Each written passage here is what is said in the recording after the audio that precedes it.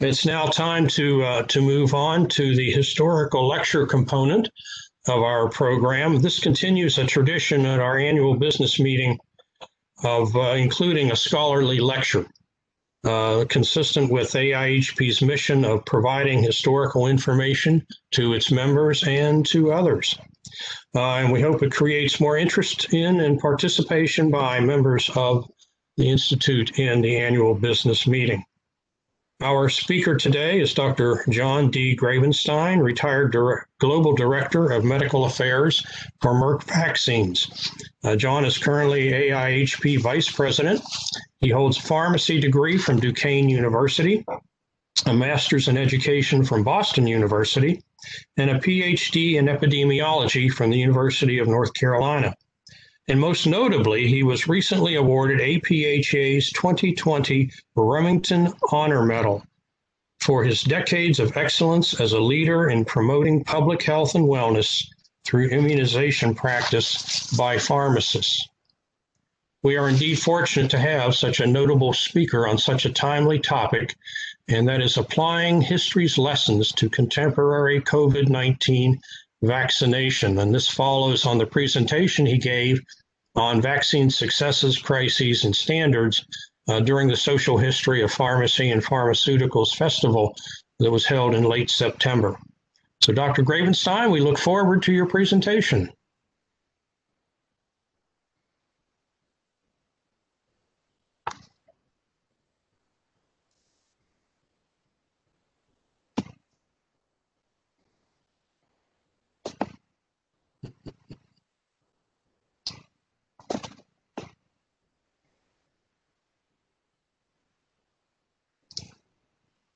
Uh, John, I think you're muted.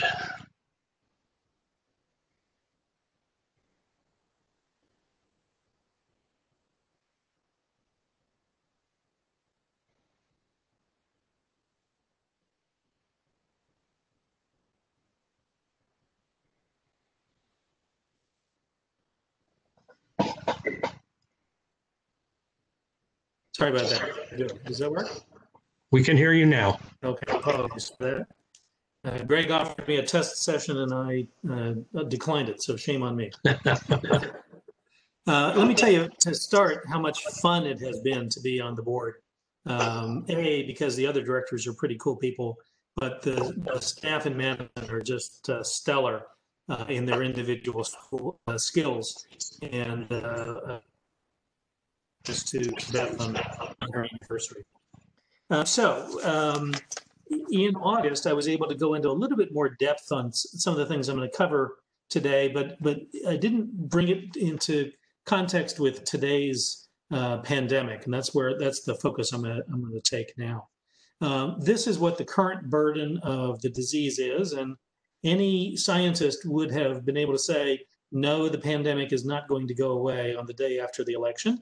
And in fact, yesterday apparently was the the uh, highest case count uh, the country has recorded yet. Um, these have been these blips have been described as waves. They're uh, epidemiologically they're more like surges, or if you're a musician, you I think we're rising to a crescendo, uh, which is really bad news because it's not music; it's human um, human suffering. So, what can we learn from history that we can apply to today's situation? Well, vaccines must be the safest of all medications. That's society's expectation. Uh, they are given to healthy people to keep them healthy. And because of that, vaccines are studied in the largest populations of any drug. And then they are forever subjected to ongoing safety surveillance uh, that is uh, just gets more and more intricate as more uh, more of science is is uh, able to more uh, scientific methods are able to be applied to them. What what I thought I would do is take five themes and uh, take and, and, walk you through each of them uh, that apply to um, to to uh, vaccines in in the United States, but but in the world really. There have been production accidents. There have been adverse reactions. The, the society has rejected vaccines. I want to talk not just about vaccines, but also about antibody products, because that's um, interesting too. And then um, these are medical uh, interventions that exist in the world of society. And so, therefore, there's some military elements, but more to the point, there are political aspects that uh, that live as these products live in our society or are employed in our society.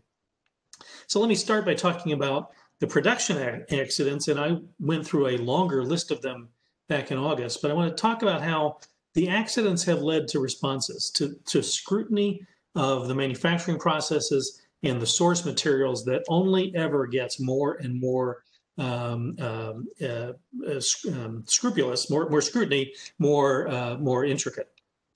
So uh, in 1901, uh, there was diphtheria antitoxin that was contaminated with tetanus spores and children died. Uh, there was smallpox vaccine that was contaminated with tetanus spores and children died. And these tragedies led uh, the US Congress to adopt the first organized um, regulation in the United States to control any medication at all. Uh, the Food Drug, the Pure Food and Drug Act of 1906 came four years later after Sinclair Lewis and all that. You know the story. Um, but but four years before that, uh, vaccines and antibody products, viruses, serums, toxins, and analogous products uh, were regulated.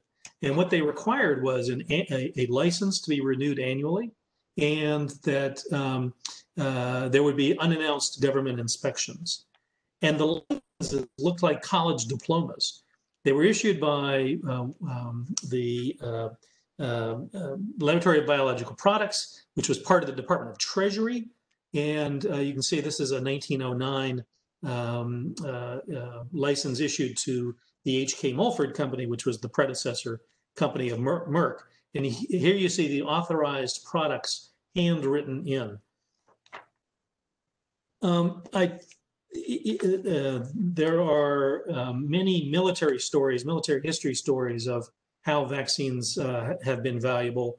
And I take you to the Spanish American War with no vaccine against yellow fever and contrast that with World War II with uh, an early vaccine with a tremendous reduction in the number of cases, despite millions of uh, military personnel being sent into yellow fever endemic zones. But the, but the heart of this story was an unrecognized contamination of, of the early product with, uh, with uh, albumin uh, harvested from human serum that had not been heat treated and allowed hepatitis A, uh, hepatitis um, B virus to persist in the, uh, in, in the product and therefore infect active hepatitis B virus and therefore infect uh, um, uh, at least 50,000 people, uh, 50,000 troops with that virus. Um, this helped to differentiate hepatitis A from hepatitis B, because this is, of course, uh, what, 70 years ago uh, or 80 years ago. And um, it was also realized that uh, the chicken eggs in which this uh, vaccine had been produced were infected with a with an avian virus. Now that didn't cause any harm, but it you know it, it, this is you know you you know the expression of adventitious agents, and the result was uh, increasing manufacturing standards to scrutinize not just the production process, but the source materials and the screening process to confirm not just the identity of the source materials, but any uh, hitchhiker viruses that might be passing through it. So um, I was trying to figure out how to show visually uh, all of the intricate controls that in the modern era the FDA imposes and the European Medicines Agency imposes and a variety of regulators in Japan and Australia and many other countries what, that they impose for product quality. And this is these are the this is the uh, the, the duties, the responsibilities of one little piece of the FDA in terms of uh, did you know that every lot of every vaccine is individually released, unlike small molecule medications. And so just an intricate, intricate uh, requirement. One of the, uh, um, the center directors of the FDA was interviewed a, couple of weeks ago. He, he was talking about vaccine applic applications for vaccine licenses for the coronavirus vaccines that the FDA will receive, presumably, pretty soon. And he commented that the, that the, the size of the application was over 100,000 pages long because basically they get a case report on every volunteer in every trial. The FDA wants to to rearrange the analyses, they have the raw data with which to do it. How else visually show the intricacy of the manu the, of the contemporary manufacturing standards? This is just some some guidance, the titles of guidance to industry documents and FDA rules in the last several years. And you can see that all the different ways that FDA controls the manufacturing process, the conduct of clinical trials, and all the other aspects of, uh, of vaccine development. Let me move on to adverse events. When vaccine people talk about adverse events um, to avoid any assumption of cause and effect, if it's a true cause and effect relationship, we would say adverse reaction.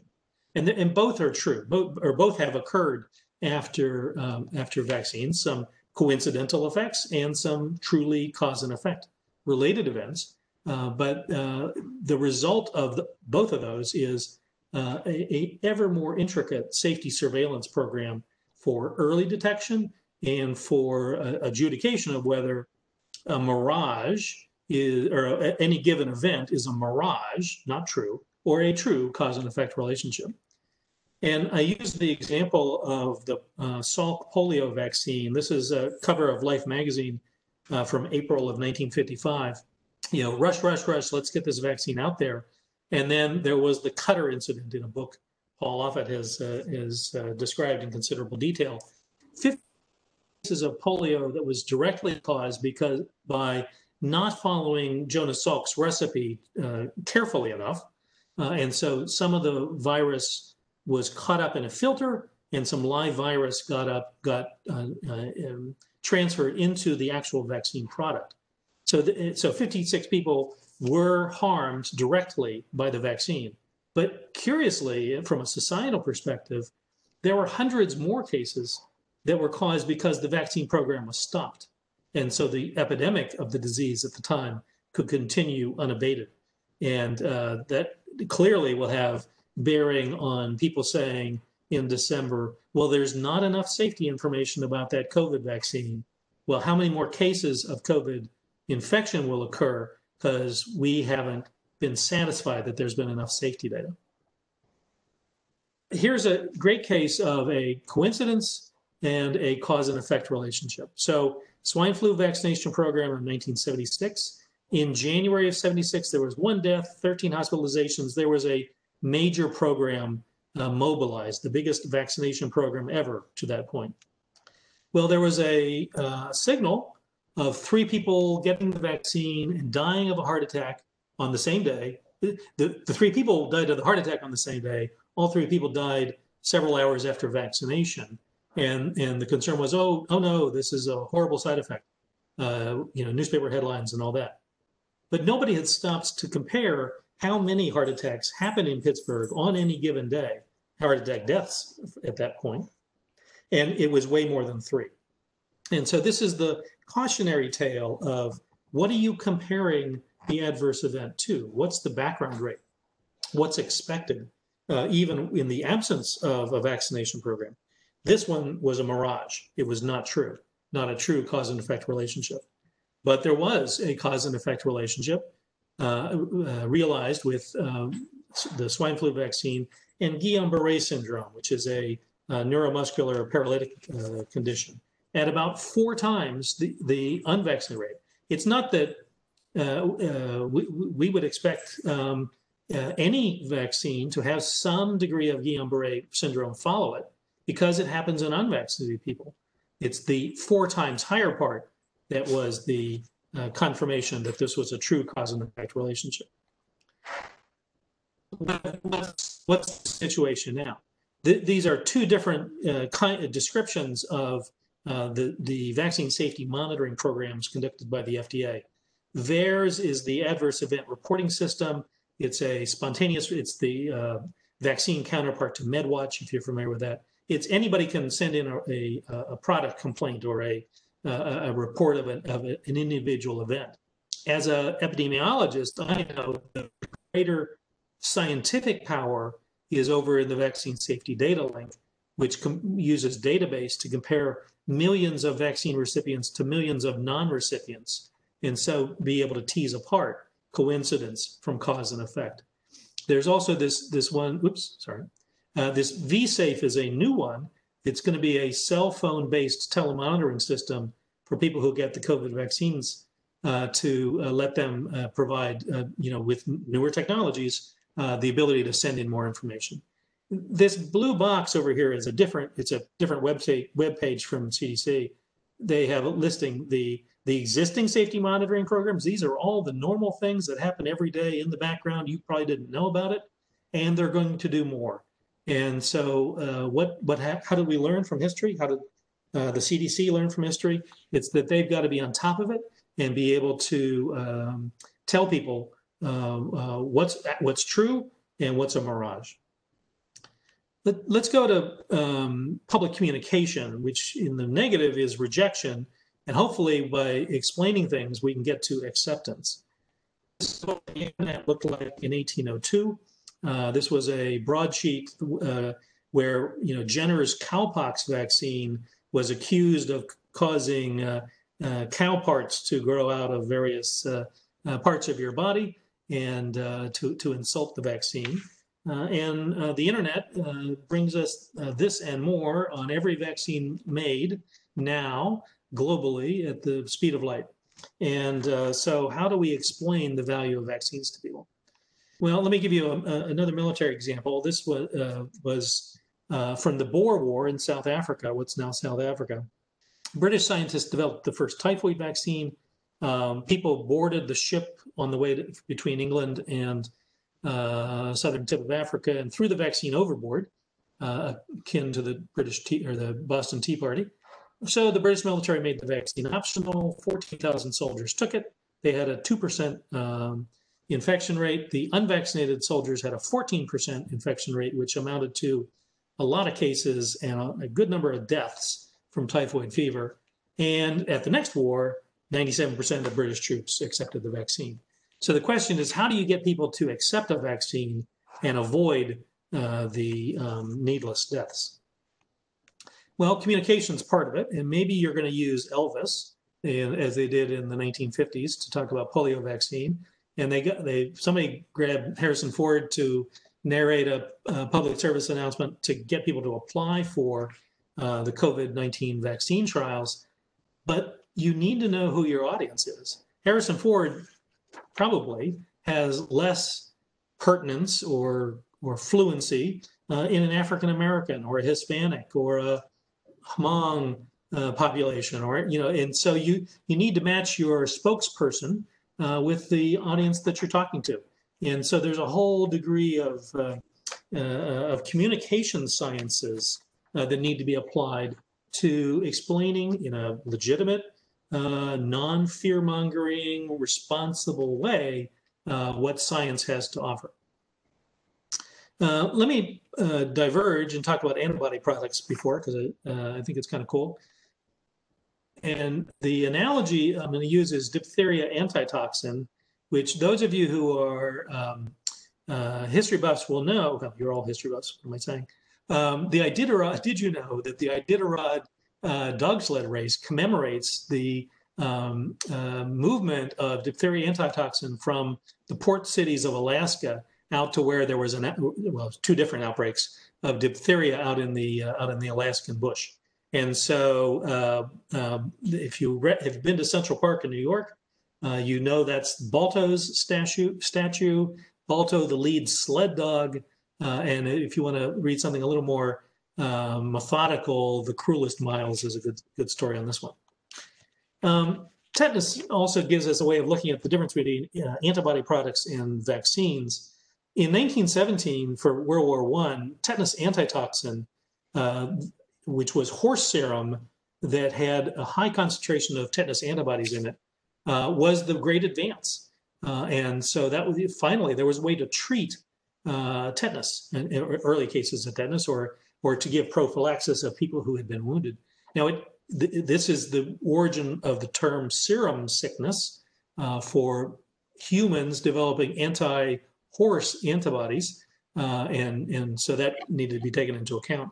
But the, um, the, the, the, the better advance was when tetanus toxoid, a vaccine, a modified toxin, came along. And so in 1941, as World War One or World War II starts, able to start giving that to the troops, and um, a much smaller number of um, of tetanus cases, uh, only 12 tetanus cases throughout all of World War II, uh, unlike Germany, where the Luftwaffe, the Air Force, gave tetanus toxoid, but the German army did not, and a much different um, uh, rate of disease. I've got two World War II dog tags over here. Uh, if you, this is the name, this is O for officer and serial number, T for tetanus toxoid, a dose in 1942, a dose in 1944, next of kin. That's O for blood type. And it surprised me that there was no positive or negative there. And I went and looked at my dad's. This is my dad's uh, dog tag, and he also has only the blood type, not the Rh factor on it. P for Protestant, C for Catholic, his, his T42, T43. So you can see that this is a very permanent, very crude, very durable immunization record. Where are we today? Um, uh, we've got uh, uh, th these pictures. I'm going to uh, make an analogy for those of you who are, who are hunters between shotguns and rifles. Uh, shotgun shells with pellets of a variety of sizes and a rifled bullet and its ability to be highly targeted. And so uh, in today's, this year, we've seen convalescent plasma locally collected, hyperimmune globulins that have a more measured potency, uh, unlike convalescent plasma from several manufacturers, and then monoclonal antibodies, that's the analogy to the rifle bullet, very highly targeted um, products being developed, either uh, perhaps with an EUA or still in, in clinical trials.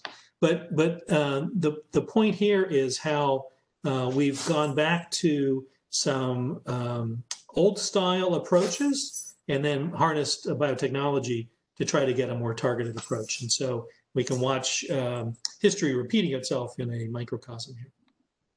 Okay, let's talk about um, uh, vaccine nationalism or better yet, collaboration and uh, see uh, where things are going there Well, the story of uh, George Washington in the smallpox vaccine, or sorry, variolation, uh, slightly different, um, uh, for the Continental Army. And the point was that a task force advancing on Quebec became ill with smallpox. They were not vaccinated. They had they lost uh, over half of the force uh, to smallpox uh, disease. We lost we the we the Americans lost the Battle of Quebec and retreated and I argue uh, that because of that, the British forces stayed in what was Upper Canada at the time, uh, and uh, Canada goes on to become eventually a, an independent country. If we had won the Battle of Quebec, who knows? We might uh, that might be a, a, U.S. state at this point, and maybe the British would be over in the maritime provinces or uh, or out of the uh, continent entirely. And so the lack of a vaccine matters in military history.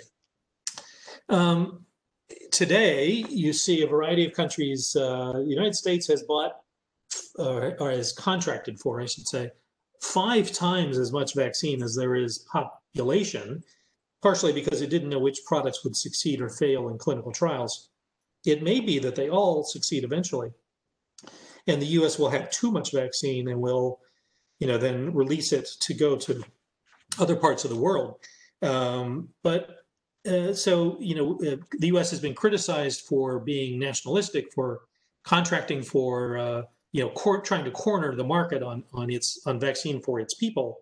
Yet there's another um, uh, way of looking at it that those government contracts were the stimulus to say to the to the developers, we will pay your bills. So go ahead and take your risks and and build your plants and scale up. And here's guaranteed money if it works um, or here's guaranteed money, whether or not. And so that it, it you can criticize it from a nationalism perspective, but there's also an industrial security element that is that is indisputably positive. There's a new uh, NGO, the Coalition for Epidemic Preparedness uh, Innovations, that is trying to take, by means of something called the COVAX facility, to get countries to pledge money to buy to to pool their resources for uh, invention and development, and and then to help pay for vaccine for Africa, vaccine for uh, uh, impoverished Asia or Bolivia, uh, that sort of thing. And um, so that's a, a, another social movement that will uh, try to get vaccines to the developing world faster. And you see silliness out of Russia trying to uh, uh, get vaccines, licensing vaccines before they ever did. Well, they did uh, do, do, clinical trials in about 88 people and then licensed the vaccine, whereas uh, the West is doing tens of thousands of people. China is uh, is followed more typical patterns for uh, clinical trials, but is well and is um, try, selling the vaccine in Latin America and in Africa and using it using the vaccine as a as a wedge for uh, diplomatic influence. Um, and Russia has sent its vaccine to Venezuela and places like that.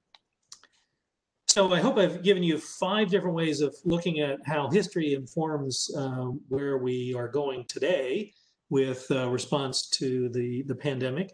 We're smarter because of things that have gone wrong in the past.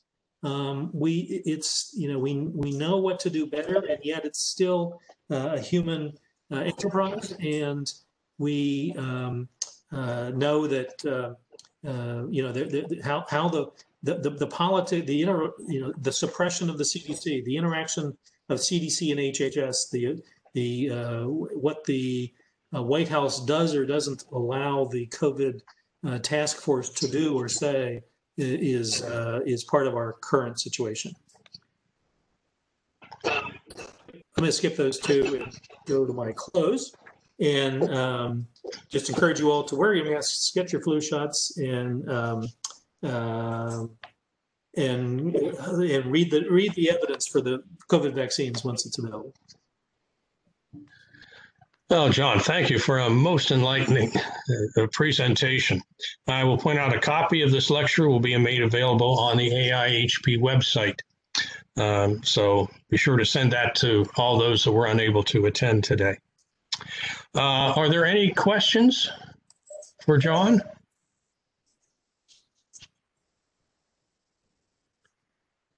Well, John, I have one. What do you look on as the role of pharmacists in the coming uh, national immunization campaign? So you've seen uh, HHS do a variety of things to empower pharmacists to be prescribers of the, the uh, COVID vaccines once they're available, uh, a variety of other pandemic uh, uh, interventions as well. And you saw in the press in the last week or two a specific contract with CVS and with Walgreens, the chains, to reach um, people in long-term care facilities where health departments don't, you know, don't have nearly as good a, a kind of access as uh, as, as organized pharmacy does.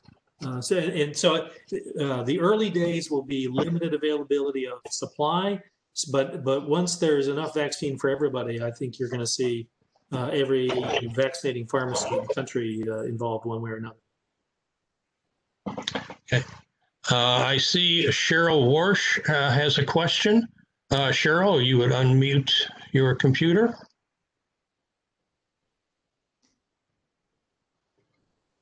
Cheryl, I think you're muted. That better? That's it. Very good. Thanks for a really interesting talk. Um, just one one preliminary point. As a Canadian historian, I noticed that every time American historians delve into Canadian uh, history, it's all about how the opportunities they had to take us over and make us better. and, and we can debate that whether you know the vaccines would have meant we became Americans, but that's another issue. Um, well, imagine imagine the United States having to be bilingual with French. oh, horrors, horrors. one of the things I just want to ask you one thing. You mentioned your father in the army. My mom was a WAC in World War II, and all the WACs were giving the given the flu shot before they would dare to give it to the soldiers overseas, the men.